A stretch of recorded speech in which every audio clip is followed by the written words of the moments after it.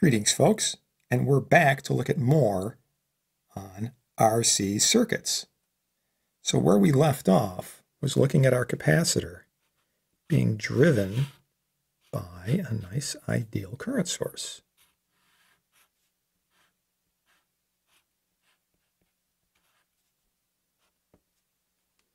Now, what we said is that the characteristic equation dV dt, the rate of change of voltage across the capacitor, is equal to I over C. So if we plot that, we get something that looks like this. Here's time. Here's the voltage across the capacitor. You get a nice straight line.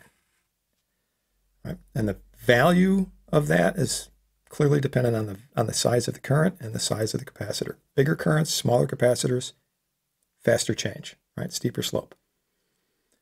Okay. If I have a circuit driven by a voltage source, we get something a little bit perhaps more interesting.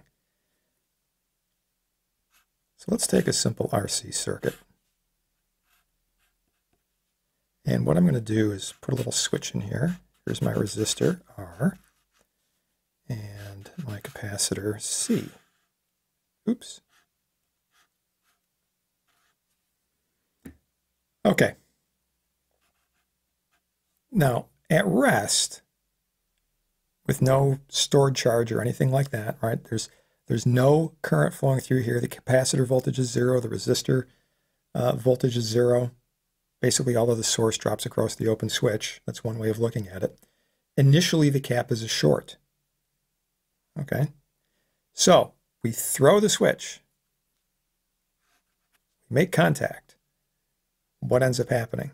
Well, the voltage across the capacitor cannot change instantaneously. It's still a short.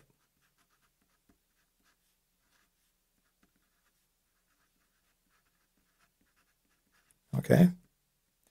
So when I look around this loop, KVL still has to uh, pan out. So if that's a short, all of E must drop across R. So the circulating current at that instant is E over R. Basic Ohm's law. Okay? Now, that current is essentially the same as this case over here. In other words, that current's feeding a capacitor. You could, you know, mentally, you could just think of making the conversion on this. What is this as a current source? So um, what we find as a plot for this um, capacitor voltage is that it does in fact start to take off. Okay?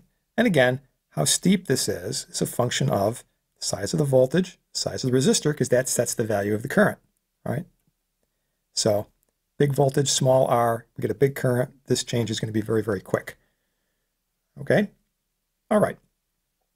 So we can say then that, you know, if we look back at this equation, dv dt is equal to I over C.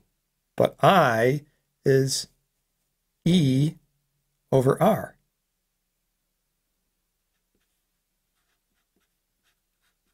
So that's E over R. That's my I value. That's divided by C.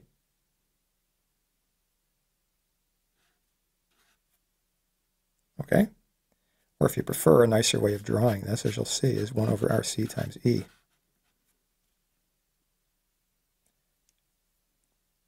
Now I wait a little bit. See, if this was just a pure current source, if we waited um, RC worth of time, I'd have RC over RC on this thing, and then we'd be back at E, okay? Straight line. In other words, we have a sort of a trajectory like this, okay? But that's not what's going to happen here, because once this current starts to flow, the capacitor voltage starts to build, right?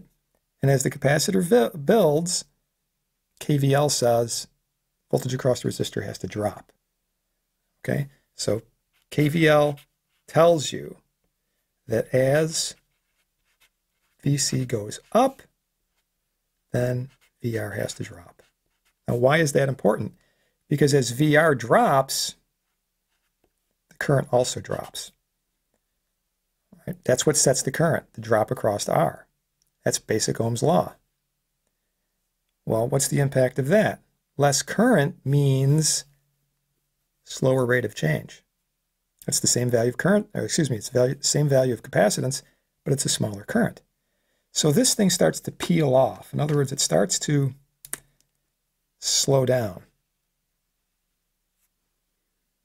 And this process just keeps on going because the more voltage we develop across the capacitor, the less there is for the resistor, the smaller the current will be, and therefore the smaller the rate of change. So essentially, this thing will eventually just sort of flatten out. And the question is, where does it flatten out to? Well, obviously, it's going to flatten out at E. Because as this voltage gets very, very close to E, there's a minuscule amount of voltage left to drop across the resistor. The current becomes minuscule likewise, and the rate of change of capacitor voltage pretty much goes to, to zero, right? It approaches zero. So I have this interesting kind of shape. Take a closer look here.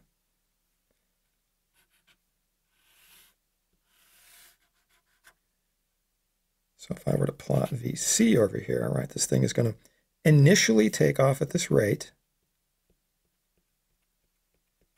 but then fall down so that it hits some value over here like E. We get something that kind of goes like this. Right? Maybe not the best drawing in the world, but you get the idea. Okay? You want a nicer version of that? Well, get out your book. So here we are on page 275. So this is a normalized charge discharge curve that we have. Um, and this is the thing that I'm attempting to draw nicely here, right? Here's your initial takeoff. Here's the actual curve. And as you'll see, there is a mirror image to this. This falling curve is, in fact, what the current and the resistor voltage happen to be doing. All right?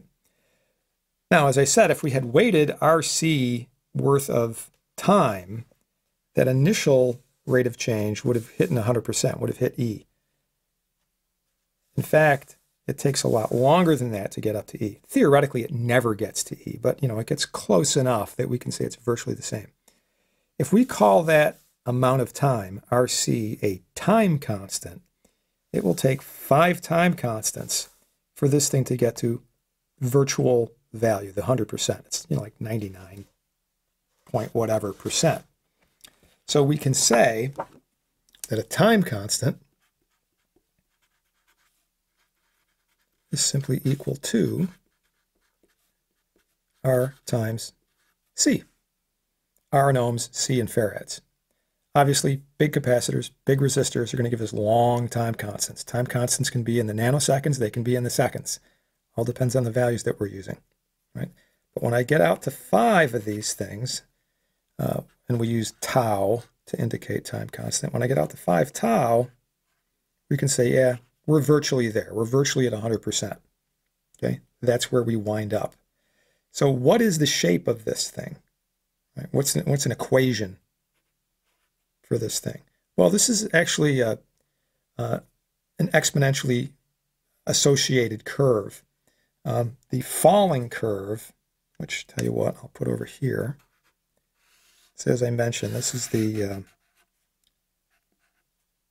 this would be the uh, resistor voltage or the current.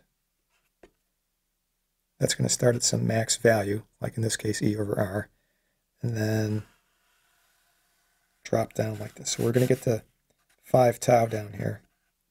It's going to be virtually zero.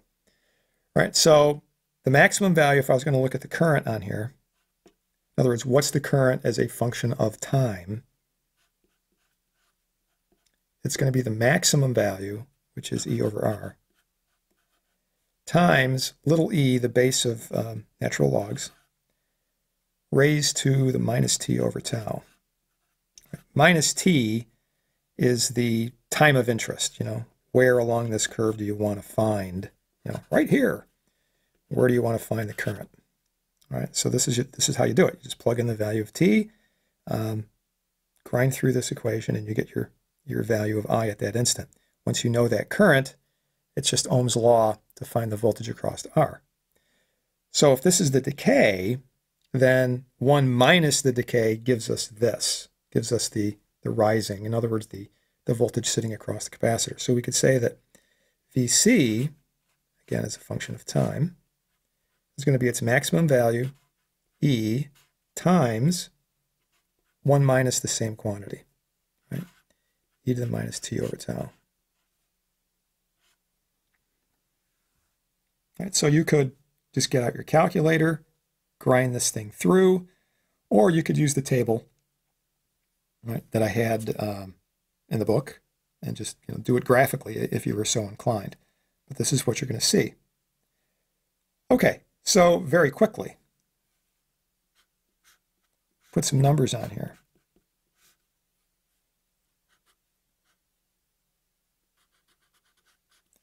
Let's say, this is just like our original. So let's say we have uh, you know, 1 k ohm over here, and I have a 1 microfarad capacitor. Maybe that's 10 volt source. So one question would be, mm, you know, how long does it take to get to steady state? What is steady state? Steady state is always 5 tau. Okay, 5 tau always. That's, that's the definition for steady state for these kinds of circuits. Always 5 tau. So what's tau? It's R times C. All right, so that's 1 k ohm times 1 microfarad. Okay, the k's and mics will get you millis. So this is equal to 1 millisecond. 5 tau is 5 milliseconds. That's how long it takes for this capacitor voltage to get up. Now, obviously, if you were sitting in lab, you're not going to do this with a stopwatch, right? not with 5 milliseconds. You can watch this very nicely on an oscilloscope. If you repeated it, if you had a switch that was opening and closing, like for example, if you drove this with a square pulse, you could see that. Or you could in, put in much larger values. You could put in much larger capacitor and resistor values. You know, if we were talking um, maybe 100 k ohms, okay, and we crank that capacitor up, you know, 10 microfarads, 50 microfarads, something like that, now you can be talking time constants of several seconds. And in the lab manual, there is a, uh, a lab to do exactly that. We put in large values, and you can sit there with a watch, with a stopwatch, and you know every few seconds determine, okay, what's the voltage? What's the voltage? What's the voltage? Right? You know, maybe every five, ten seconds, you know, whatever it works out to. And you just measure the voltage. Get your digital meter out there, right? And when you plot it connect the dots, you should get this nice um, exponential sort of rise and fall that we have here. Okay? All right, so in this case, it's five milliseconds. Now, what happens now that it's charged up, right? Let's say you wait a couple of seconds. I go in with my meter and I measure it, and I should get all 10 volts here, right? You know, initially it was zero, boom, in five milliseconds it gets up to 10 volts. Okay, so what happens if then you open this switch, right? Just leave it open the way it's actually drawn. Well, if it's an ideal capacitor, it'll just hold the 10 volts on here. Real world capacitors will leak. The charge will leak off. This, this is one of the characteristics of the dielectric. You know, a better dielectric has less leakage. It'll hold that charge longer. But what happens if you then were to do something like this, like you were to short that down? Well, now this capacitor discharges. Actually, now it, it's like a source because you charged it up initially with this polarity. You know, think of it as a drop, right? And now that you've um, took away the power supply and shorted this, this thing now delivers current in the opposite direction through the resistor.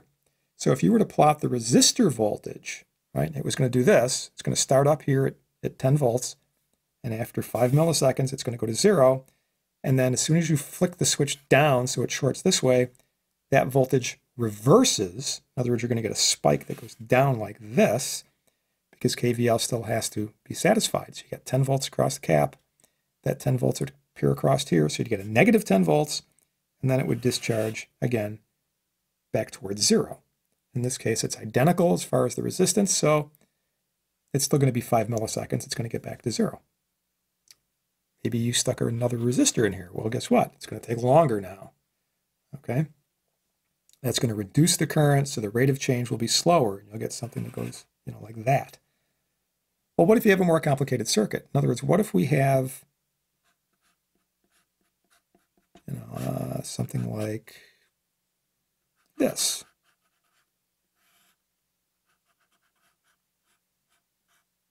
And you want to find out, you know, again, what's steady state? How long is that? Um, you know, what do the curves look like for a circuit like this? What's VC doing? I know in general it's going to follow this red thing, right? It's going to do this. Um, but to what value? Well, the obvious thing to do here would be to Thevenize this. Hey, we're back to Thevenin's theorem. So if I Thevenize it, I'm going to wind up with, once again, a voltage source and a resistor.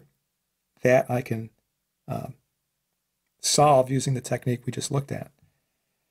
And that would tell me exactly what that capacitor voltage is going to do. It's going to tell me how high it's going to get, right? The Thevenin open circuit voltage is going to be the ultimate voltage for this. And we're also going to be able to determine how long it takes because the Thevenin resistance now of this circuit will be the charging resistance that we wind up with in that equation. Okay, so you know we see this sort of combination of theorems working together that might not have been immediately apparent where we're going to use Thevenin's theorem when we first brought it up. But, you know, here's one possible place where you could use it with a more complicated circuit. Okay? Very good.